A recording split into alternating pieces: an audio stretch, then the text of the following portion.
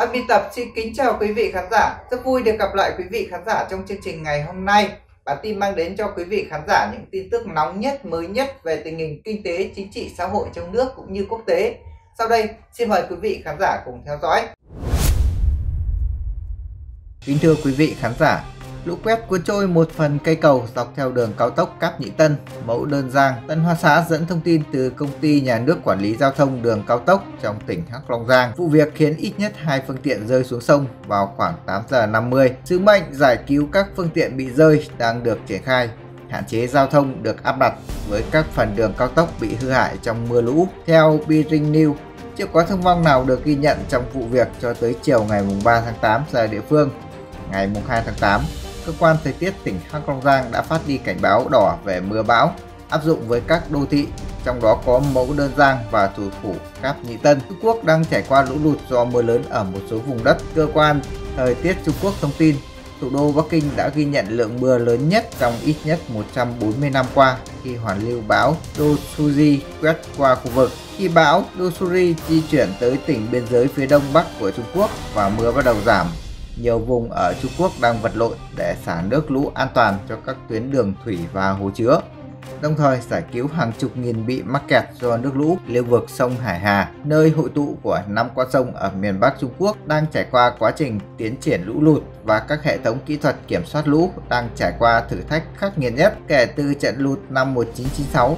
Truyền thông nhà nước Trung Quốc lưu ý, mùa hè năm 1996, lũ lụt quy mô lớn ở lưu vực sông Dương Tử, miền Trung Trung Quốc cướp đi sinh mạng của khoảng 2.800 người làm hư hại hàng triệu ngôi nhà và khiến nhiều vùng đất nông nghiệp ngập lụt. Giới chức tỉnh Hà Bắc đã nâng mức ứng phó khẩn cấp thiên tai từ cấp 3 lên cấp 2 trong khi Bắc Kinh giữ nguyên cảnh báo về sạt lở đất ở vùng ngoại ô. Có thể mất tới một tháng để nước lũ rút hết ở Hà Bắc.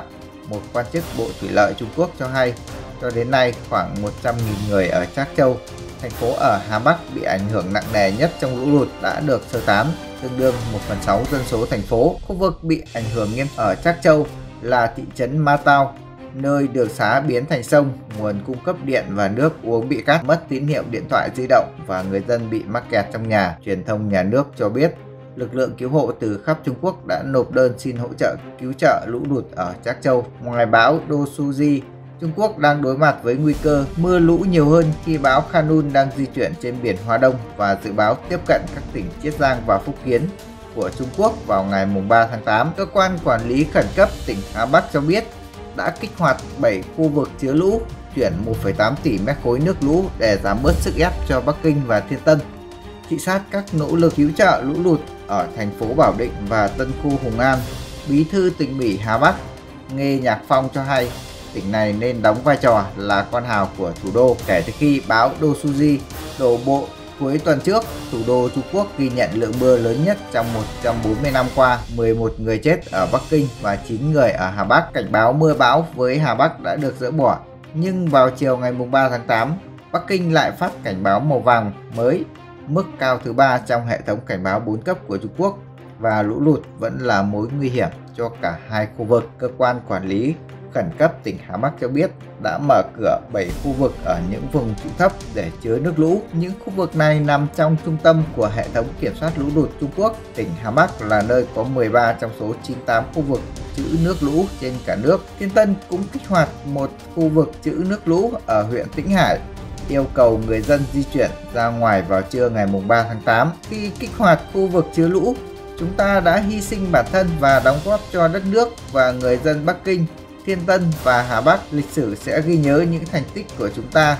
Huyện Tĩnh Hải nêu trong thư, ngỏ tới người dân địa phương. Kỹ sư thủy lợi Trang Chiao Tao chia sẻ với đài truyền hình nhà nước Trung Quốc CCTV rằng việc chuyển nước lũ tới nơi chứa lũ có thể là giảm lưu lượng đỉnh của sông và giảm áp lực cho các thành phố ở hạ nguồn. Cư dân ở những vùng chữ lũ được chuyển tới nơi ở tạm thời của chính quyền và chưa thể về nhà ngay theo truyền thông Trung Quốc, một quan chức cấp cao về thủy lợi của Hà Bắc chia sẻ với CCTV ngày 5 tháng 8 sẽ mất một tháng để nước lũ rút khỏi những vùng đất ở khu vực ngập lụt. Nhiều ngôi nhà có thể bị hư hại quá nặng, không thể ở được. Trong những trường hợp đó, chủ sở hữu có thể yêu cầu chính quyền địa phương bồi thường. Tuy nhiên, theo chỉ thị của Quốc vụ viện Trung Quốc có hiệu lực năm 2000, số tiền bồi thường tối đa chỉ bằng 70% giá thị trường. Bão Khanun có hướng đi gấp khúc phức tạp, dự báo vòng lại vào Trung Quốc khi bão Khanun mạnh và di chuyển chậm gần các hòn đảo phía tây nam Nhật Bản. Gió lớn đánh vào các đường dây điện ở Okinawa làm hơn 200.000 hộ gia đình mất điện trong sáng ngày 2 tháng 8.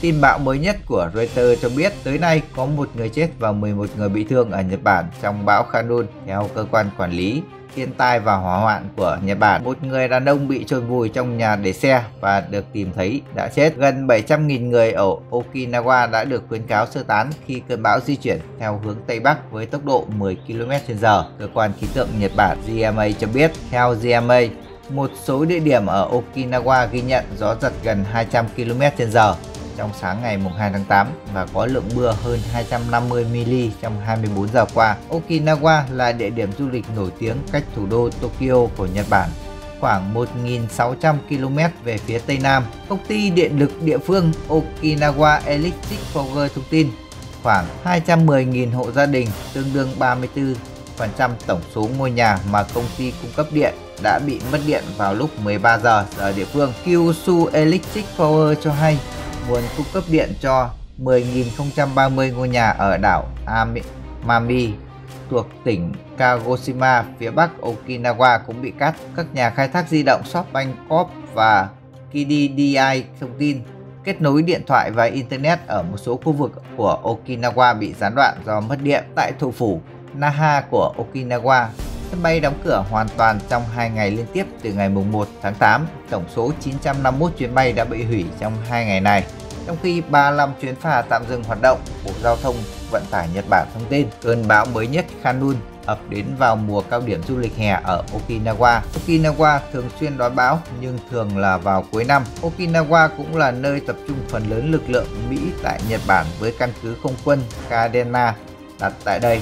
Căn cứ quân sự của Mỹ đã triển khai các biện pháp phòng ngừa cần thiết. Dự báo bão của GMA chỉ ra bão Khanun có khả năng di chuyển theo hướng Tây qua biển Hoa Đông đến các tỉnh Chiết Giang và Phúc Kiến của Trung Quốc và phía bắc đảo Đài Loan, Trung Quốc vào ngày 4 tháng 8.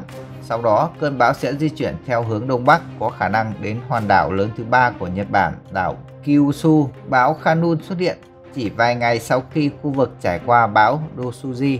Dosuji đã đổ bộ vào miền Bắc Trung Quốc như, như một trong những cơn bão tồi tệ nhất hơn một thập kỷ Trước đó, cơn bão đã gây thiệt hại cho sản xuất lúa gạo ở Philippines khi thủ đô Bắc Kinh của Trung Quốc hứng chịu mưa bão trong những ngày gần đây. Tử Cấm Xanh không bị ngập lụt nhờ hệ thống thoát nước hoàn hảo theo Tân Hoa Xã.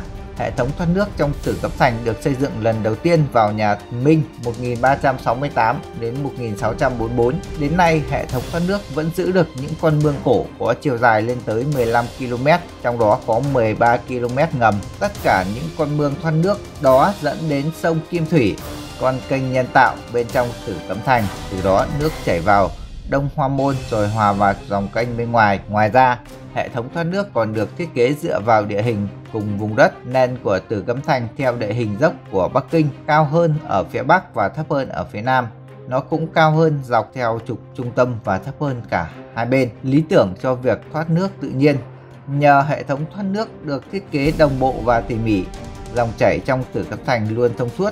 Vì vậy, suốt gần 600 năm tồn tại, Tử Cấm Thành chưa từng chứng kiến trận ngập lụt nào dù mưa bão có lớn đến đâu trong những ngày gần đây thủ đô Bắc Kinh, thành phố Thiên Tân và tỉnh Hà Bắc của Trung Quốc xảy ra mưa bão.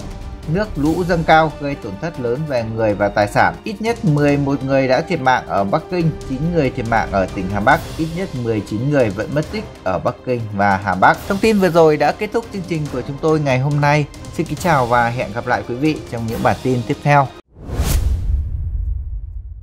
Bản tin vừa rồi đã kết thúc chương trình của chúng tôi ngày hôm nay. Xin kính chào và hẹn gặp lại quý vị trong những bản tin tiếp theo.